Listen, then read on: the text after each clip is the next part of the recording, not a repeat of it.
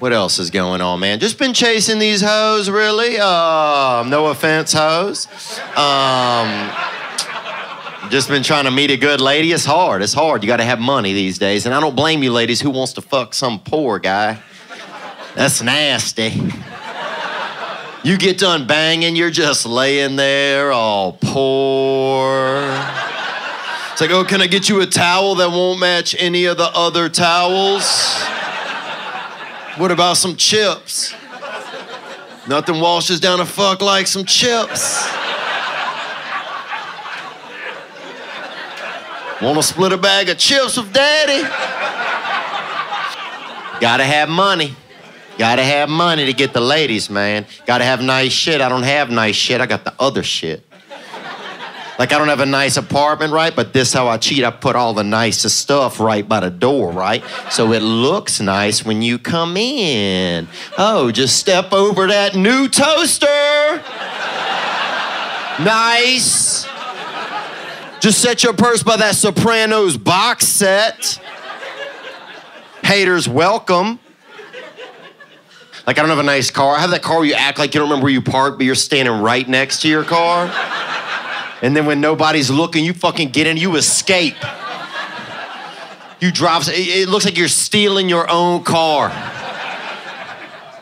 You tell your friends it's a rental. They're renting 97 Accords to people? Yeah. Oh, I'm just driving it for charity. Yeah. Every time I floor it, a blind boy can see for a second. So I get a lot of speeding tickets, you know, for his little dark ass.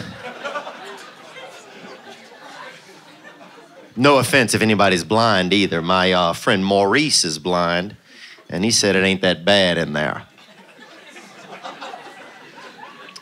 So that kind of softens my heart about it. But you gotta have money to get the ladies, man. You gotta have nice shit. If you don't have nice shit, if you don't have money, you gotta have the other money drugs, okay? Especially out in LA, man. These girls out there are a bunch of coke ghosts. That's what I call them. Because they're invisible, dude. They don't answer your calls, don't answer your texts. They don't exist. But you break out a little bag of blow cane, they show up out of thin air like, blow, blow.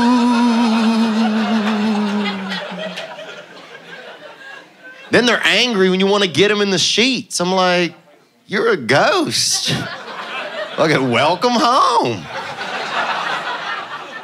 This is your natural attire. And if you don't have money or drugs, then you got to be yourself, right? Fuck that. Last thing I'm doing is being myself, not on my watch. What am I gonna say to a girl? Hey, my name's Theo. Mostly I just Netflix and keep my hopes up.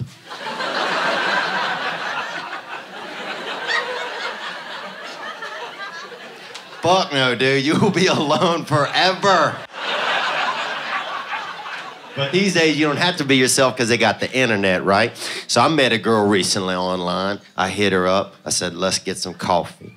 So she write me back. She said, "Coffee's boring. Didn't you read my profile? I'm adventurous. I want to go skydiving on our first date." and nowhere in my budget is there skydiving for unknown bitches' money. Okay. I keep unknown bitches at sea level. So I wrote her back. I said, Well, look here, fancy. I happen to live on the 11th floor of my building. Won't you come over here? I'll assist you off the balcony in a windbreaker. You still feeling all adventurous down in the flower beds? I'll get your newly crippled ass a coffee then. But the caffeine ain't gonna save your legs, you greedy little gremlin. And now I'm angry, man. Now I'm angry at a woman that I've never even met. Do you know what that's like, man, to be angry at bitches you don't even know? My buddy Sherman's like, what's wrong? I'm like, this bitch. He's like, hey. I'm like, I don't know. Invisible bitches, Sherman.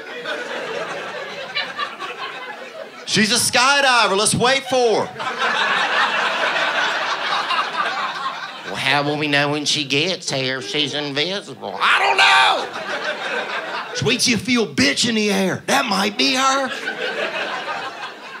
Whoa.